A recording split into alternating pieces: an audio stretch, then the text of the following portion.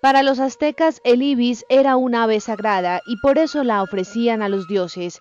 Este esqueleto es de los pocos encontrados en los yacimientos del Templo Mayor. Y esta ave de, hermoso plumaje eh, era muy característica en aquel entonces de la cuenca y tenía también un rico simbolismo.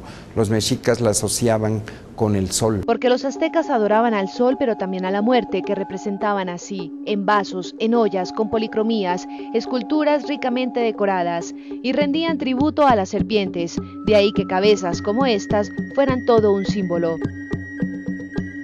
En el caso de los templos se utilizaban mucho las serpientes como elementos decorativos, como elementos acompañantes, por ser en, ese caso seres protectores. ¿no?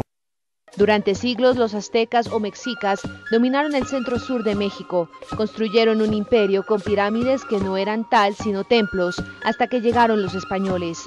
El Templo Mayor se ha convertido en estos 25 años en uno de los mayores reclamos turísticos de México.